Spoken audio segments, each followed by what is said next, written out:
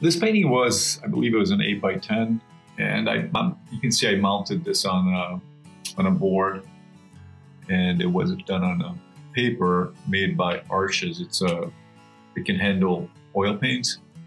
I like how it absorbs the paint. It, it absorbs it a lot, so some of you might not like it, but um, yeah, I just wanted to show you how I go. I know it's sped up a little bit uh, here, but how I go about laying in a painting and, and things that I look for, things that I eliminate.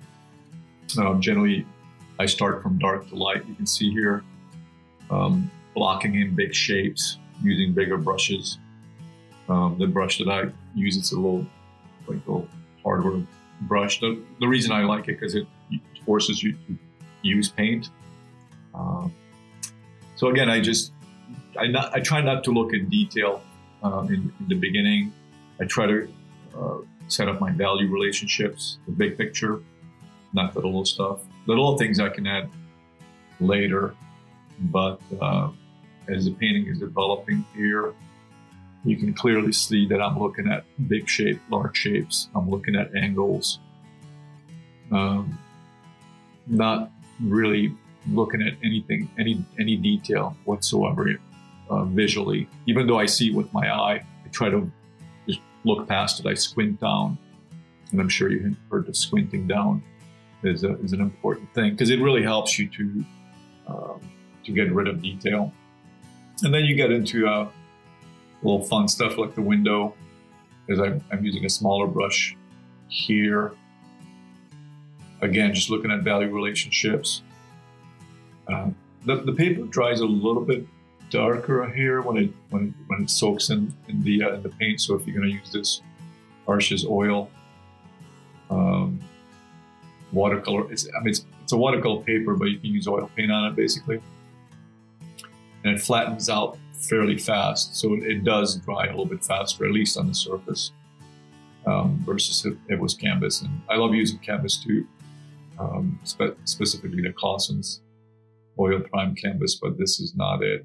Or just use a regular cotton duck, you know, acrylic prime canvas, but this is not it. Um, I go dark to light. Uh, I wanted to convey light here as this, uh, this is a morning light in Santa Fe. This, this image is from Santa Fe. Um, as the morning light was pouring in. Um, it's not easy creating light in, in, a, in a painting. Um, too much white can, you know, kill the intensity of the color. So I have to be careful on how much white that, that I'm using. Uh, you need to use white, but um, in the in the building, the, the warm building, I try to limit my use of white basically. And I'm adding in, I'm overlaying the trees. So you saw what I did here is that I painted in the light behind it and then I overlaid the trees over it. That way you get a, a more poetic uh, feel to to the painting. You're not painting around things. That's another big one. You don't want to paint around objects. Um, it will look forced when you start painting around it. I, try to go for uh, for poetry, um, looseness, and uh, it's, it's, not an easy thing to to get in each painting, but at least I, I try to go for that. Um, this could be possibly a bigger bigger painting, What I just wanted to share with you my process. And as you can see, I'm, I'm laying some other colors over it a little bit.